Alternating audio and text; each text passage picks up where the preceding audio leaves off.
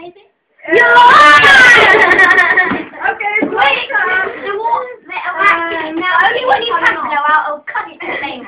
Okay. Go on then. One, two, three. Are going oh, to cut that thing at the bottom?